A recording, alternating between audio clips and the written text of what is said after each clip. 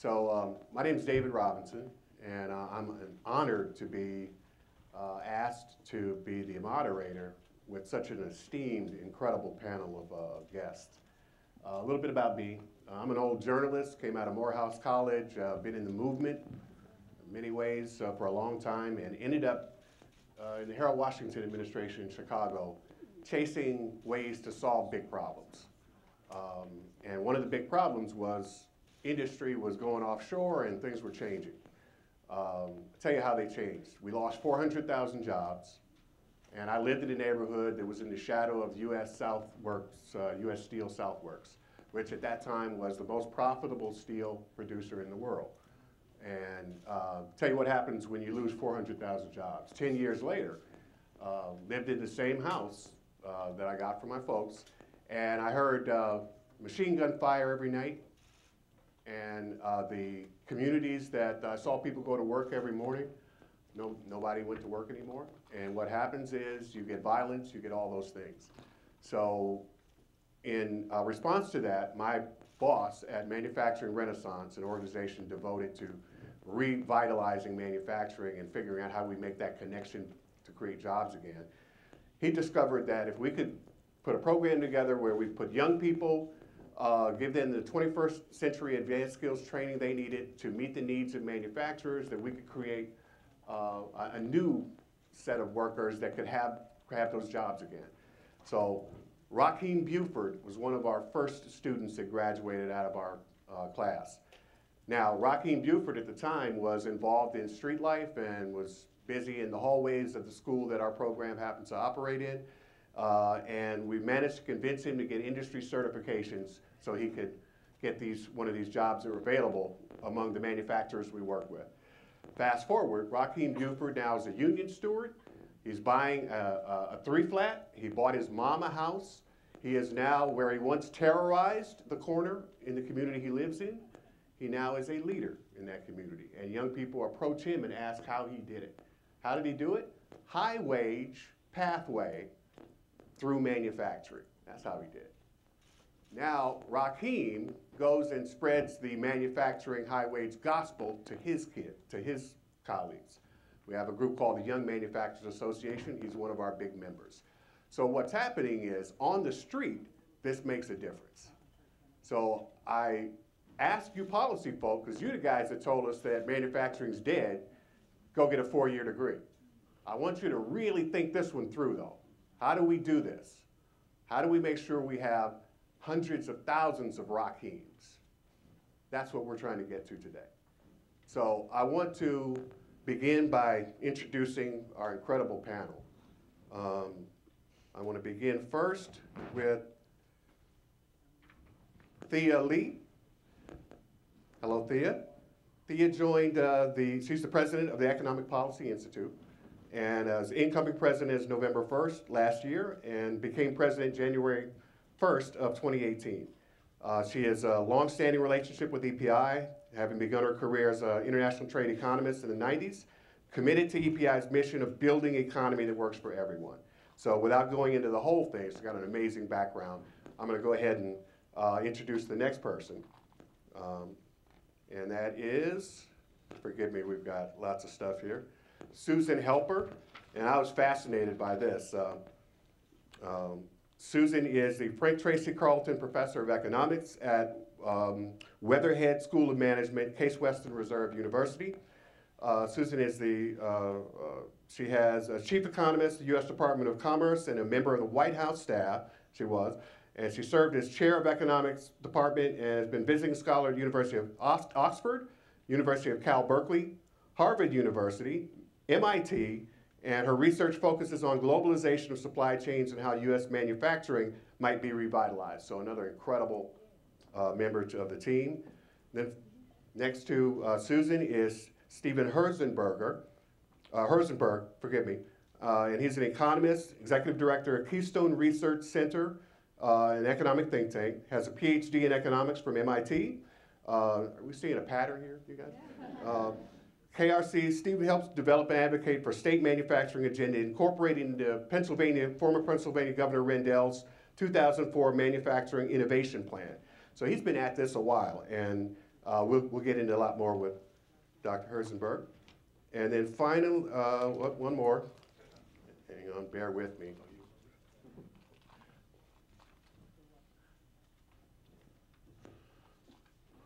And next, of course, is uh, our host and, and my colleague, Andy Stettner.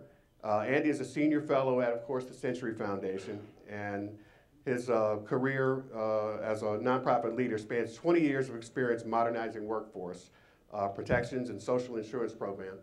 And, and, he is currently really kind of the, the spearhead for a lot of the work that we're doing now. And I'm really happy to, that uh, they let me play, play with the big boys on this. So. Um, and finally, uh, David and I just reconnected after remembering something from 25, 30 years ago. Uh, David Wilhelm, partner at C and uh, uh at uh, help me pronounce this. Hecate.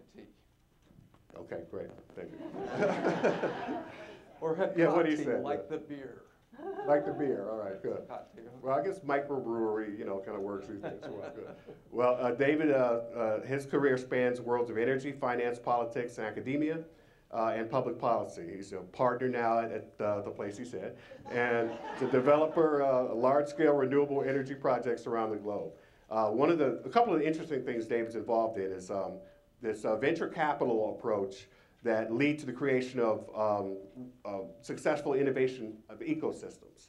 And uh, he's in, in, in, he works a lot around uh, his alma mater, Ohio University, and he's helping to lead the, the, campaigns of some of the best known politicians, including with Bill Clinton, uh, former Vice President Joe Biden, uh, former Mayor Richard Daley, and one of my mentors, former Senator Paul Simon, late Paul Simon. Uh, after well, let's get into that later. So, all right, um, what an amazing crew. Please give them a hand. All right, Andy, um, I'd like to, oh, to start with you. Um, what are your, you, you just did this three city tour in the heartland, beginning to kind of explore where we are with this issue. Uh, after doing this tour and uh, kind of looking at what was on the ground, what kind of workforce strategies do you think we need to facilitate good paying jobs in manufacturing? It was a real honor to work on this tour with um, such great leaders. People like Tom Croft, who's here today, who really refused to accept this idea that deindustrialization and the decline of uh, the, the so-called Rust Belt was inevitable. I think no one, and I owe this a little bit, I'm from Detroit, a certain Midwestern skepticism, no one has rose-colored glasses to think the economy is going to go back to a place where 30% uh, of the jobs uh, in the heartland, like they were in 1980, were in manufacturing, and was the you know the the, the key source of a middle-class life uh, in the Midwest. But there's also no doubt in the minds of the community leaders we met with and expert researchers on the panel and, and elsewhere that manufacturing remains a critical part of the economy in the Midwest uh, and to our national competitiveness. And I actually think there's more consensus now than there was five or 10 years ago that a forward-looking manufacturing sector is one vital ingredient to a more diversified economic future.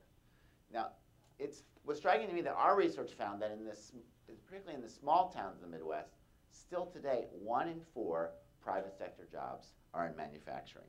These are jobs that pay more, and as our cause EPI know, not as much as they used to, um, but still pay more than other jobs, especially for workers without a college degree. And to be precise, it's $3 more per hour uh, in Ohio.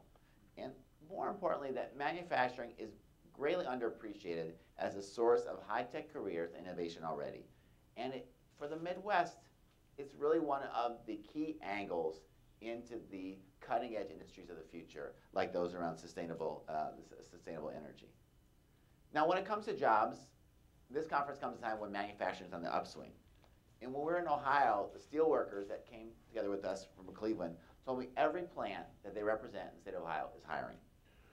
In Chicago, we found that there are twice as many jobs open as workers were hired in manufacturing. And one problem that manufacturing faces with a greatly aging workforce is that the programs that they relied upon to get a pipeline of younger people into manufacturing career high schools, and apprenticeships were allowed to basically wither almost to nothing. And, and a generation of parents who experienced the eh, strong, big decline in industry have told their kids not to go into this type of work. But I think a theme throughout this tour is that communities are taking action to respond to the opportunity. There are new programs like the AFL-CIO's um, uh, Industrial Maintenance Technician, multi-state apprenticeship. Randy Berth is here from Wisconsin, helped to put that program together, where there are all these automated factories, and there was a tremendous need for repair workers, and there wasn't the same pipeline from the shop floor. And so they started this new apprenticeship program, uh, including long overdue steps to reach out uh, to young people, including in communities of color, like David has, has done as well. And I think that's critical because community of colors really wants to use manufacturing in the Midwest as a step to, into the middle class. And there's tremendous potential in manufacturing for good paying careers. Uh, and, and uniquely, we heard this in our interviews for those who have criminal records. But it's going to take a much more proactive approach than we've had, a much more proactive approach of working with leaders uh, in, in communities than your typical workforce training programs happen. Um, and it's going to take manufacturers we're providing better jobs, um, kind of throwing off an over reliance on temporary agencies, paying decent wages, and respecting collective bargaining.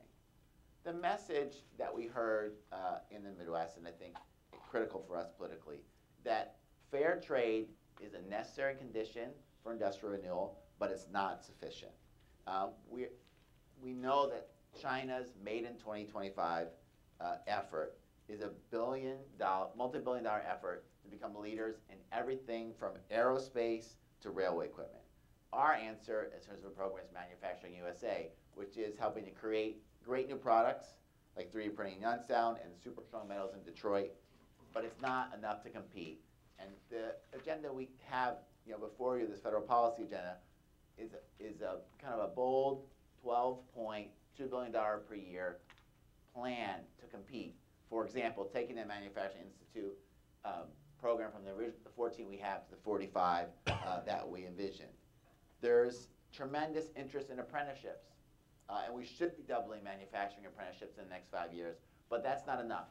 We have to have a lot more investments, uh, starting at the high school level into the K-12 pipeline, and we have to build strong partnerships between community and business and labor um, to make sure when we're building out apprenticeships that it really expands opportunity. And it looks like we might have a new NAFTA, maybe one that's better than what we have. But even with a better trade deal, we know there's going to be plant closings. And we know that the federal programs that communities have relied upon have been a disappointment. So if we're going to have another vote on NAFTA, we have to have a much more serious and streamlined program of- adjustment. And I think my last one I would say is that while this tour was developed, you know, in, in the Midwest, um, we think it's a message that leaders in every part of the country should carry forward uh, if we want to create a, a high wage economy. Thank you so much, Andy. And uh, before we go to our next question, uh, a couple of housekeeping notes. And also, I want that to sink in a little bit, that, you know, it's a lot of work that went into those three city tours, and I think Andy tried his best to distill that. But we'll, we'll un- uncover a lot of the juice in there uh, a little bit later. But first, uh, everyone that uh, should have a, uh, a packet um, in the, the folders, that are, in your folders, you'll, you'll see uh, note cards that will allow you to write a question when we get to the Q and A portion. So I encourage you to take a look in there, and if you have questions as we continue the panel, um, our staff will be at the, uh, uh, in the aisles to collect your questions uh, once you begin to write them down. Uh, Also, I want to, again, just thank Senator Gillibrand for really kind of kicking this thing off. I don't think we did that properly. Please give her one more hand. All right, moving on. Um, So Sue, I'd like to, to direct the next question to you. Um, There'll only be uh, jobs if industry can become more advanced and competitive, if it keeps up. Um, And so what needs to be done to build on recent federal uh, initiatives and the momentum in manufacturing that's beginning to kind of push this along, but what do you think needs to happen? Well, so I guess first of all, I- I'd point out that I think one of the Can you hear? Uh, are you on? You're on. Mic up a little. One of the problems that we have in US manufacturers, we're kind of stuck in the middle. We're not uh, thankfully as low wage as China and Mexico, but we're also not as high tech as Germany. And uh, I think so uh, promoting technology in a, in a particular way that I'll define is uh, really important. And there's a lot of really cool uh, ideas out there. So uh, the Oak Ridge National Lab has made a lot of progress on how you might use 3D printing to make tooling, which is really the foundation of uh, lots of manufacturing. It's a very high-skilled uh, arena and a job that has gone largely to China because of their efforts there.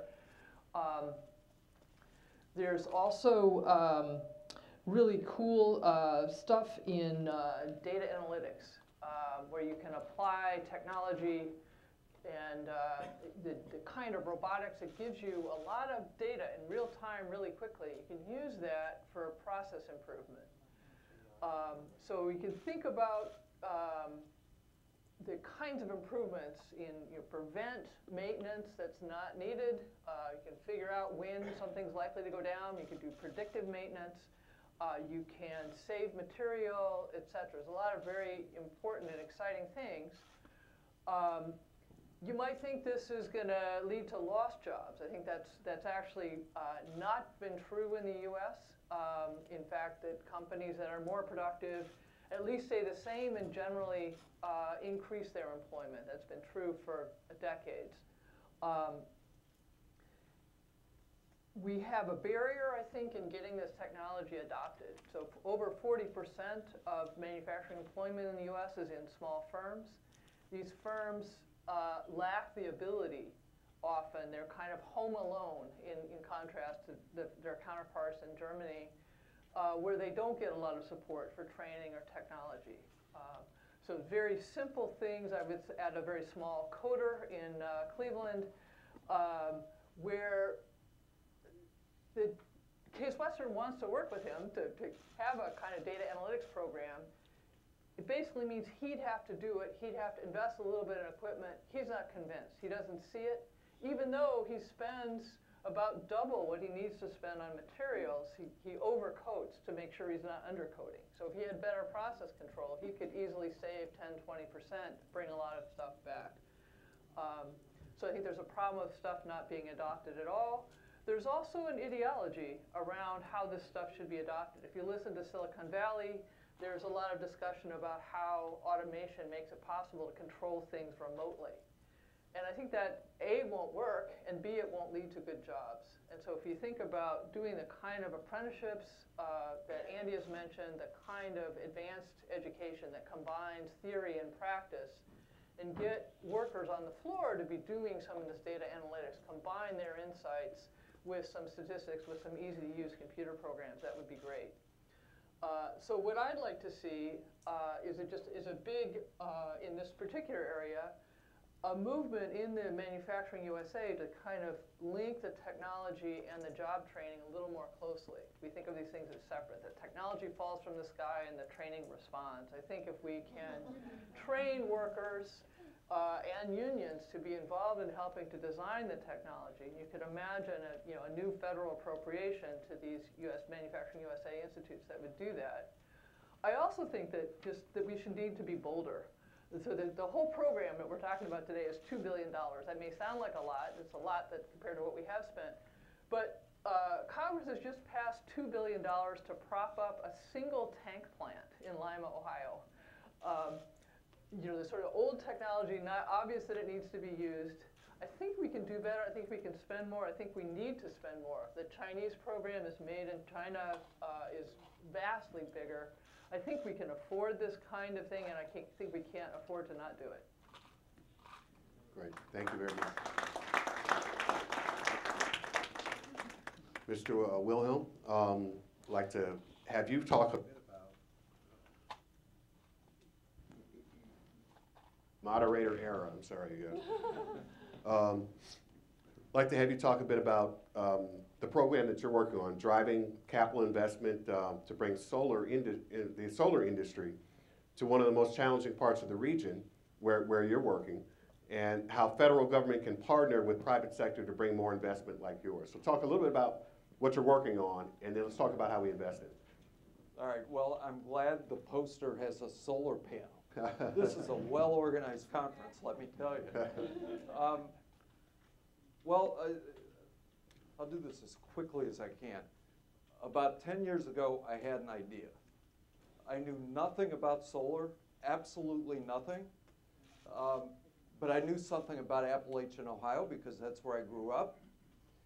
And I knew that in southeastern Ohio, we had about, we have about 80,000 acres of land that was strip mined and reclaimed and not used. You know, 80,000 acres of land. The machine that stripped the land was called the Big Muskie. And Big Muskie was the largest crane, drag line, uh, shovel. You could put you could put two high school bands into that shovel. I know because I've seen the picture of the bands in the shovel. And to power that, you had to bring an electricity infrastructure. To power the big muskie, you had to bring an electricity infrastructure out to the big muskie equal to what it took to power about 30 to 40,000 homes. So land, electricity infrastructure, and at that time, Ohio seemed serious about fulfilling the mandate of the Renewable Portfolio Standard. And I thought to myself, okay, American Electric Power, the biggest buyer of coal in the world, probably needs to diversify its mix of energy. So I had an idea. Southeastern Ohio is a utility scale solar project waiting to happen. That was my idea. And I went to AEP and I presented this idea to them. And they said, You're right. I was stunned. um, and, and they immediately, almost immediately, provided me with a power purchase agreement for what then was an inconceivably large solar project of 50 megawatts, right in the heart of Appalachian, Ohio. And then I thought, oh my God, this is, this is relatively easy. I have a 50 megawatt power purchase agreement from a totally bankable off-taker. I'm in business. And then I thought, I got a 50 megawatt power purchase agreement. I bet I could convince a manufacturer to come in if I gave them all the business. And so I called Michael Peck. Some of you know Michael Peck. He represented a Spanish company called Isofotón. And Isofotón, in return for the 50 megawatts, was willing to build a manufacturing plant in the state of Ohio. All right. Then we had, we had regime change. and this amazing idea fell into the hands of the Public Utilities Commission that was headed by a climate denying chair, and my project got killed. But a group in Chicago of actual power plant developers who were stunned and disgusted that I had received a 50 megawatt uh, PPA knowing nothing about solar said, we know something about solar. Let's take this idea. Let's, uh, let's uh, go down to San Antonio. Let's increase it uh, by a factor of eight. Let's build 400 megawatts and let's bring in the entire supply chain. The panels, the inverters, the wiring, the cabling, you name it, to San Antonio in the immediate vicinity of the 400 megawatt project we're going to build. And they did it. They stole my idea, but they did it. They created several hundreds of permanent manufacturing jobs along the way and got all kinds of international and national awards for doing so. While I was flailing uh, in, in Ohio. But to their credit, probably out of tremendous skill, they called me up. Said, we offer you a partnership in our company, let's do this elsewhere. And I said, let's go back to Ohio. But anyway, to fast forward, American Electric Power, to its credit, has stuck with this. And they have agreed in a settlement that involves the Sierra Club and all, all kinds of uh, players in the state of Ohio to build 400 megawatts of solar generation in the middle of what was coal country in southeastern Ohio, the middle of Trump country, the middle of the opioid belt. 400 megawatts of solar generation is going to be installed. Uh, and uh, uh, they are linking that to our basic idea.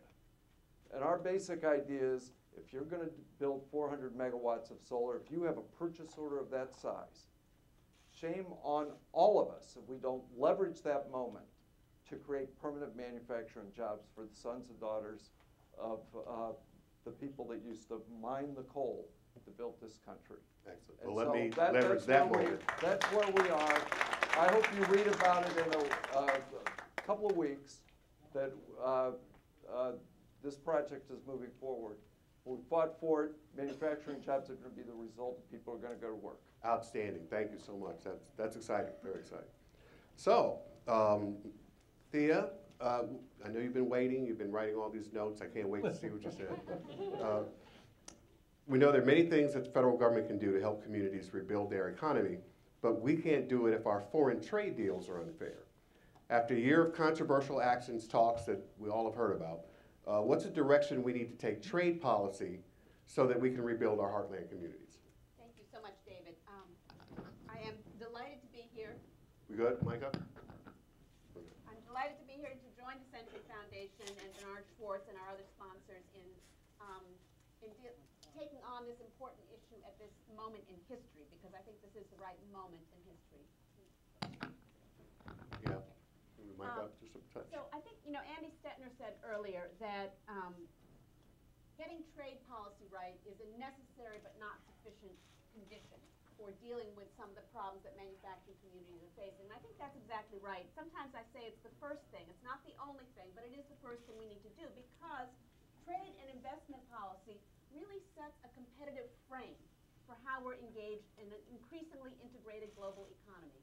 It determines really the kind of labor market uh, conditions, our regulatory structure, uh, how, every decision really that business makes in terms of hiring and firing and where to put production and what to produce and when to produce it and so on is part of, we need to think about it in the context of the global, the trade and investment rules that we have negotiated both globally and the ones that we put in place domestically, whether it's our unilateral trade programs or the trade agreements that we sign or how we engage in the multilateral rule setting at the World Trade Organization. So that frame is incredibly important. And I think when we think about our competitive strategy, I think Sue mentioned this before, that we're talking about, you know, are we on a high road strategy? How do we see ourselves in the global economy? And I think one of the mistakes we made in the 90s and 2000s was um, maybe coming at this from the wrong place, that we are going to compete in the global economy by cutting taxes, cutting regulations, cutting wages, busting unions, and being as cheap as possible. But for a wealthy country like the United States, that is not the right strategy. That is a losing strategy because we are not going to get our wages uh, and our taxes below those in Mexico, China, and Bangladesh, and we shouldn't want to. We need to think how we're going to be successful in the global economy as a wealthy, industrialized, high-skilled, high-capital uh, country, and that involves a whole different set of concerns. But I want to say today that I think the, our current trade and investment regime has utterly failed to support good jobs and thriving communities, to protect democratic decision-making, and to nurture an innovative manufacturing sector, because we've made a lot of wrong decisions along the way. And it's not a question of trading or not trading. That is not our choice. We cannot turn our back on the global economy. We shouldn't think about turning our back on the global economy, but we really can uh, go into those deals with a whole different set of priorities. Rather than negotiating a whole generation of trade deals that protected multinational corporate profits over jobs, that encouraged outsourcing over exports, and that failed to shape our trade relationship with China in a sustainable way that, that we could live with. So there is a basic conflict here, and the conflict really is whether our trade policy serves multinational corporations and Wall Street, or whether it serves the heartland communities and the people who are trying to do the work and trying to be successful on American soil, whether it's business or labor or agriculture. the current Trump trade policies, I have to say, are, are not the answer. Because uh, President Trump or candidate Trump correctly identified a problem and a vulnerability and a vacuum that had not been addressed by previous both Democratic and Republican administrations and policymakers. And he took advantage of that void. But he didn't, he hasn't articulated a coherent and comprehensive economic strategy. He has implemented a tariff regime erratically and inconsistency, creating maximum uncertainty, which is actually not what is needed. When you use tariffs strategically, what you want to do is give your trading partners and give businesses a clear sense of how they need to change behavior in order to go forward, not uh, have everything be about personality and petty um, rivalries. He hasn't coordinated with our allies. And in order to be effective, especially in addressing a, a challenge like unfair trade with China, a more effective policy would be one that was coordinated with our allies like Europe, like Canada, so that we could have a, uh, a concerted, coordinated front. And it hasn't been paired with a set of domestic policies, and I think that's the, the bulk of this um, panel, as it should be, on tax, on infrastructure, on skills that would really lift up American workers and businesses and help them be more successful in the global economy. So we can and we must do better, and I think we can. Um, and the key, uh, the key areas are one, we need, we need, we do need to effectively and consistently and aggressively enforce our trade laws. And that is particularly important with respect to China. If you look at our trade balance, the trade, the composition of our trade, our imbalanced trade relationship with China is an outlier. It's different from the trade relationships we have with other countries. So we need to address that, deal with currency misalignment, workers' rights. We need to go back to the multilateral negotiations with different priorities. The areas where multilateral lateral coordination is essential are tax policy, coordinating tax policy, ensuring that climate measure changes that we take, that we should be taking, are not a competitive disadvantage for American manufacturers. Uh, lift up workers' rights proactively, not just wait until they're horrible, egregious cases, but really take that as a centerpiece of what we need to do. And, uh, and address currency misalignment with a new Bretton Woods style agreement because, and I'll talk more about that later, about how we can really um, address some of the built-in systematic competitive disadvantages that American manufacturers and workers face every day. Thank you. You you hear that, policy people? We have a little work ahead of us, sir. So, Steve, uh, for this first section of, of our panel, I'm going to give you the last word on, on this thing. Um, And what I'd like to do is um, ask what, what all this means for kind of economics you're trying to build in Pennsylvania, and, and, and how the federal government can be partner to help build it and maybe spread it throughout, you know, the, the nation on this. Uh, Thanks uh, very much. Uh, I do come to you today from the heartland state of Pennsylvania, and I bring you greetings from our 10-year board member, um, Governor Tom Wolf. Um, There is a little video. He was not able to come here because he's kind of busy between now and the beginning of November. Um, But um, he did do a little video, which is going to be tweeted out and on the web page of the Century Foundation, so I encourage folks to um, look at that. Um, the real median wage of non-college white men in Pennsylvania today is still about $2 an hour less than 40 years ago. The real median wage of non-college black men in Pennsylvania is nearly $4 an hour uh, less than 40 years ago. Those medians for the state as a whole are um, uh, disguise the fact that the cuts in wages in western Pennsylvania in the early 1980s and since the early 1980s are larger. Um, of course, it is true that women still make less than men, uh, which is important to acknowledge. Non-college men are a big group. 71% of prime-age Pennsylvania men today are in that group. Um, obviously, the loss of manufacturing jobs had the leading role in those wage declines. At the state level in Pennsylvania, you can point to innovations in manufacturing policy under Republican Governor uh, Thornburgh and Democratic Governor Casey in the late 70s and 1980s. We think Pennsylvania was the model for the Manufacturing Extension Partnership Program. Maybe Ohio thinks it, it was. Uh, Um, we also think Pennsylvania was a model for one of the forerunners of today's Manufacturing USA Institute, the Ben Franklin Technology Partnership. Yet the response of Pennsylvania policymakers to manufacturing's im- implosion was inadequate even in the 1980s. Since then, and most of this period I've got firsthand knowledge of in Pennsylvania, state policy on manufacturing with an increasingly conservative legislature has been nothing short of legislative malpractice. Um, as rural areas have lost manufacturing, first manufacturing was lost from Philly, then Pittsburgh, um, they uh, get low wage services. They don't get a mix of high wage and low wage. Yet our rural uh, lawmakers have done nothing about the fact that, for example, 23 Pennsylvania rural counties uh, don't even have a branch campus of a community college. It's been all about cutting taxes for people who don't live in their districts and cutting spending for programs that their districts do depend on. Uh, those areas have- have been completely disinterested in a manufacturing strategy. And at the national level, uh, the most visible manufacturing policy has been an approach on trade that the heartland uh, sees uh, as tearing its heart out. There's a reason that heartland folks are angry and feel ignored and disrespected by elites. There's also a political opportunity that we keep missing. Um, America and the heartland states needed a real manufacturing strategy 40 years ago, and they still need one today. I want to thank the Century Foundation for leading an effort to finally getting us a U.S. manufacturing strategy.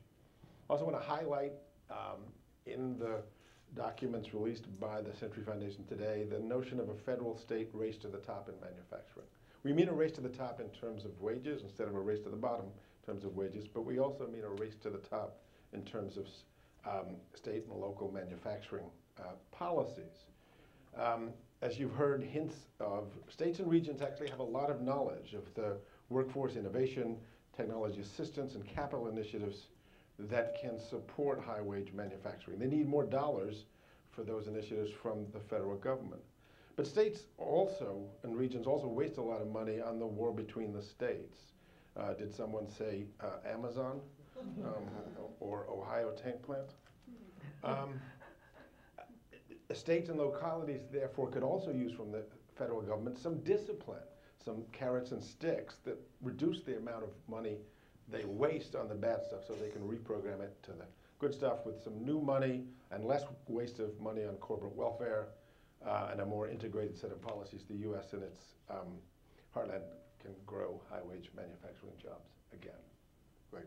Thank you so much. Uh, Outstanding. So, so uh, this is the part, uh, we're going to switch gears a bit. Um, And I'm going to ask a single question. Each of the panelists will have one minute to answer the question. Um, Of course, they've been uh, prepared for this one. Then, uh, while they're doing that, if you wouldn't mind, those of you that do have questions and have thought this through, please do write them down on, on your cards. Uh, Our team will be in either aisle to, uh, to collect them. Then I'm going to ask a question that they didn't know about. And, and we're going to see how that goes. Uh, uh, So let's, let's begin, and what I'd like to do is start, no, I'll start with Thea. Uh, Then we'll, we'll go straight down for this question.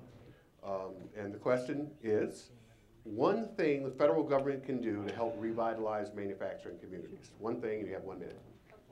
I think the one thing that I would choose is addressing currency misalignment. I know that sounds really boring and techy, but the whole point is that when other governments systematically intervene in currency markets to make their goods cheaper and our goods more expensive, that puts American workers at a complete disadvantage. Thank you. So currency misalignment, and this could. Um, if we did this, if we addressed it, we would save millions of manufacturing jobs. It would not cost taxpayers a single penny and it would be good for both domestic business and labor as well as agriculture. Why haven't we done it before? You might ask if it's that easy as Thea is saying. I think the reason is that uh, within the U.S., there's very strong interest from Wall Street and multinational corporations are in the opposite way. Because if you're a multinational corporation, you're producing abroad to sell in the United States, currency manipulation or misalignment is actually a bonus for you. So if we take the interests of workers, farmers, and business seriously, we will address currency misalignment. Excellent. I wanted to follow up on something that um, Steelworkers President Leo Gerard said in the, in the uh, video about, uh, we're going to have either good jobs and a clean environment, either both or neither. Yeah. So, It works so, better. so Leo Gerard said in the video that uh, we're either going to have both clean environment and good jobs, or we're going to have neither. I think we can and should have both. And uh, I think a way to do that, um, I'd love to see uh, more projects like the one that David is talking about all around the country. Um, I think we can fund these um, in the long term. Clean energy is cheaper in many ways.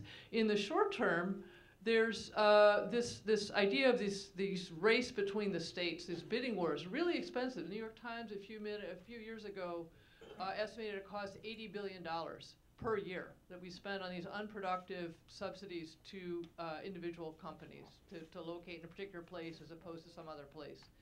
You could tax that federally, uh, raise uh, tens of billions of dollars, devoted to uh, high wage, uh, good jobs in manufacturing, other sectors, uh, clean energy being a pretty important uh, priority.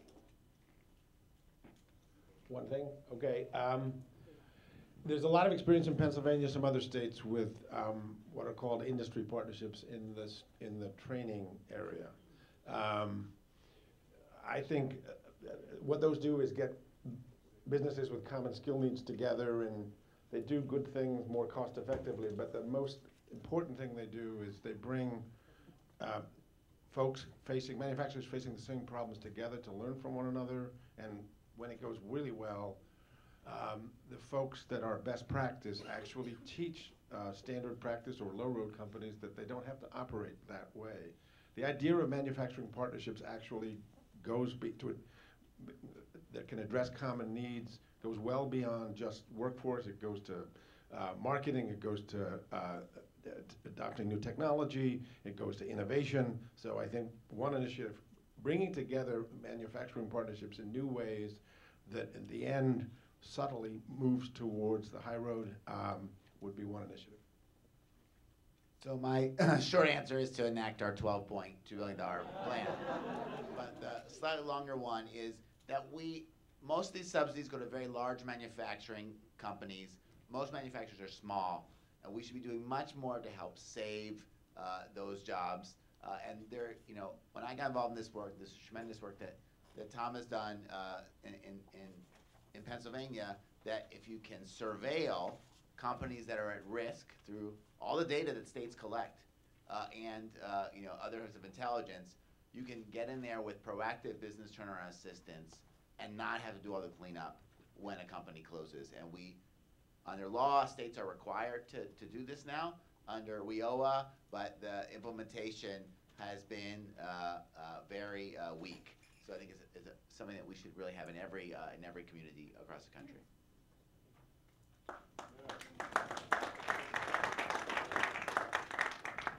Um, I missed the call in preparation for this, so I didn't know this question was coming. Um, Ah, there you go.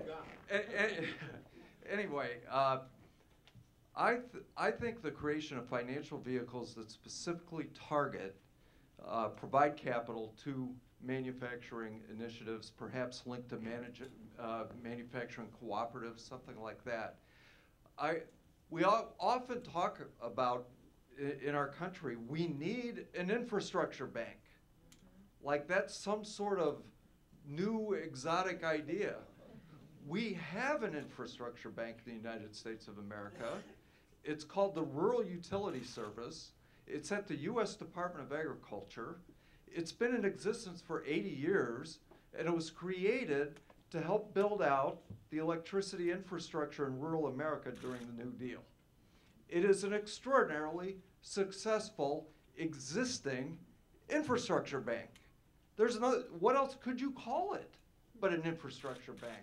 So I want an infrastructure bank, but I want a, I want a manufacturing cooperative bank. I want financial institutions that are targeted to the social impact that, that is created as a result of the growth of these enterprises. Great, excellent. Um, Wonderful answers. So here's the moderator question. Uh, And while you guys are answering, the way we'll do this, I've got about 10 minutes for this, so we're going to kind of keep the same format, but we're going to start with you, David. You get two minutes this time, and each of you then will respond to this question. What is the role as we move toward trying to, to create this high wage, high road uh, um, opportunity and, and, and you know, revitalize these communities? What is the role that manufacturers should be playing? The employer, what is the role that they play? And once, is it sustainable? Because we saw this sort of go away 35 years ago. Now, how do we keep it sustained? And what is the role that manufacturers should play? So I ask each of you that question. What is the role that manufacturers should play? In, on, in trying to achieve this high road, this revitalization effort. Well, I, th- I think they play it. Um, you know, manufacturers. I went to Bilbao. Has anybody been to Bilbao? Has anybody been to Mondragon? Has anybody been? That's the role manufacturers should play. I, I, about I assure you, you should go. because it, it is a place in Spain that's not dissimilar to the Appalachian region of our country. Yet it has a vibrant manufacturing sector. I think 75,000 manufacturing jobs have been created in the region around Bilbao. What makes Bilbao special? An absolute commitment to the, the principle of cooperative uh, work and cooperative finance and worker ownership. But they don't make a big deal of it. If you're briefed by the people of Mondragon, they'll barely talk about that. What they talk about is the fact that they are competitive via this strategy uh, in, in worldwide competition, in global competition. They don't wear it on their sleeve, but they have 75,000 jobs in northern Spain, in the middle of nowhere, and I am jealous, and I wish we had it in Appalachia, and I wish we had that spirit, and I wish our workers were engaged the way the, the workers I spoke to were engaged in, in, in their work. And um, I don't know if that gets at your question, No, but that's good. what I thought of. Yep, excellent. Thank you. I think the, the first thing that comes to mind is this, you know, taking the mindset of looking at workers rather than costs as assets. Uh, and that means uh, in, in investing more uh, in, in training, that means paying decent wages uh, and benefits, that, that means uh, being uh, not so aversive to collective bargaining. Um, and I think with, without that, we're not going to solve these real challenges manufacturing have of hiring workers that are going to build a career in manufacturing. Uh, if we don't do that, and I'll just I'm be you know very direct about it. You know, my my brother-in-law is a um, you know very skilled and trained tool and die maker about to approach retirement at, at Ford, and he said, if I don't, I- can't imagine how a young man in the same place I was could take a job working at Ford Motor Company as entry level, making sixteen dollars an hour, when he can make, you know, eleven, twelve dollars an hour working in retail, and it's a lot harder job. And so we're, we're not addressing these basic things, we're not gonna turn around this sector. Uh, Manufacturers have to be en- um, engaged in the creation and oversight and funding um, of the support structure that makes potentially all manufacturers higher wage and more competitive. So the workforce support structure, the technical, technical assistance support structure, the financial support structure, the innovation support structure.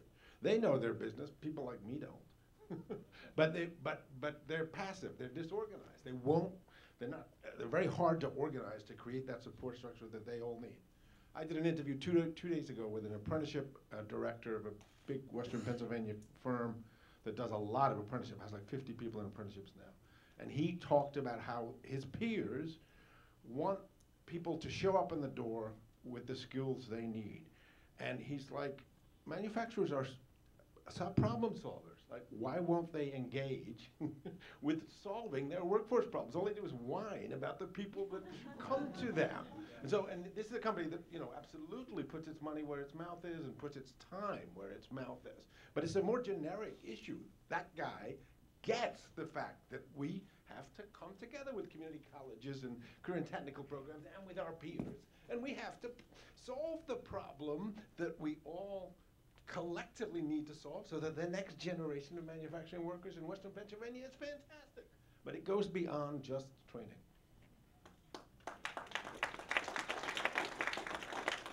Yeah, I think I'd build on, on what you guys have said in- the way that I think a lot of manufacturers and a lot of employers have um, kind of accepted this low road idea that the way you win is by using markets and trying to find the lowest short term uh, wage cost and also the lowest short term supply cost.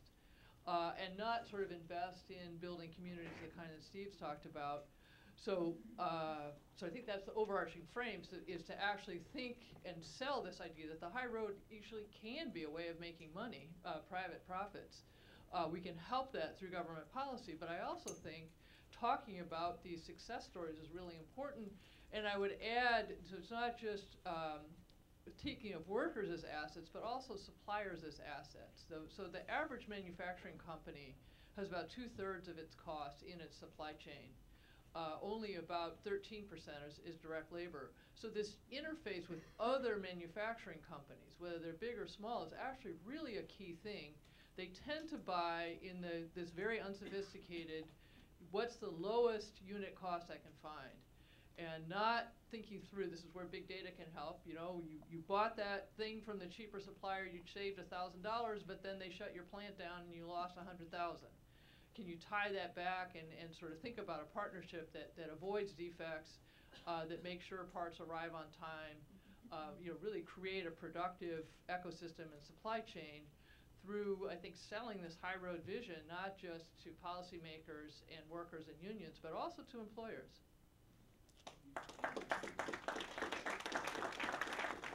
Great. Well, I want to build on what all, all of my fellow panelists have said, and just to talk really practically about how potentially powerful a political coalition would be between business and labor to lobby in favor of the kinds of things that we need to be successful investment in infrastructure, in skills, and a tax structure that can support uh, you know, serious investments in infrastructure and skills rather than, you know, one and a half trillion dollars of tax cuts for the wealthy and for corporations. And this does go back. I actually do think I came to the to Washington in the early 1990s, to, uh, and I I worked on NAFTA, and then I worked at the AFL-CIO for 20 years. And there used to be more of a labor business coalition around issues like infrastructure. And that actually did begin to crumble in the 90s as business saw its interests abroad around outsourcing rather than around investing in the U.S. economy. And business put a lot of energy into failed free trade agreements and temporary visa programs of trying to, is, and I'm going to be maybe less kind than others have been, to say that this was not just like not paying enough attention. This was a strategy to abandon the U.S. Uh, sector and to put their energy and their their interests uh, in production abroad for the U.S. market. And in the end, I think what that developed, what that what that delivers is a, a weak U.S. consumer economy because you can't keep taking the good jobs away and undermining taxes, not paying taxes, and then wonder why you don't have the skilled labor that you need and why you don't have, uh, you know, the, the economy doesn't bounce back after a recession for 10, 10 whole years. So, a high wage, high productivity union workforce. Um, that is supported by a political coalition that includes domestic uh, businesses as well as labor.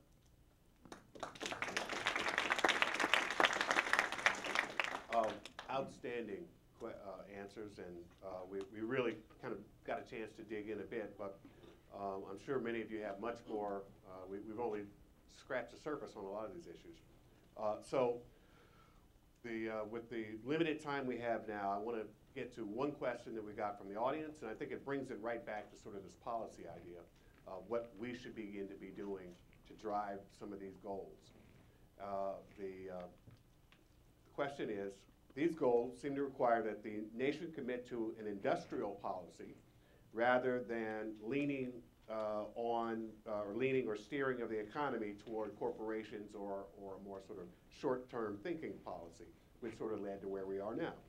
Uh, So how do we overcome the obstacles to making that shift? What do we do to get toward that kind of policy? So I would ask each of you to try to tackle that. Um, uh, Do we have enough time for, for everyone, or just one answer? So does anyone in particular want to try to take a stab at that? So I would say that, you know, part of this is, um.